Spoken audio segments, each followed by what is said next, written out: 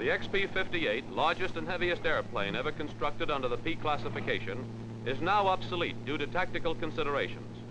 A development of the P-38, it was intended as a faster, more powerful two-man interceptor with a gunner's position in the rear of the pilot's nacelle.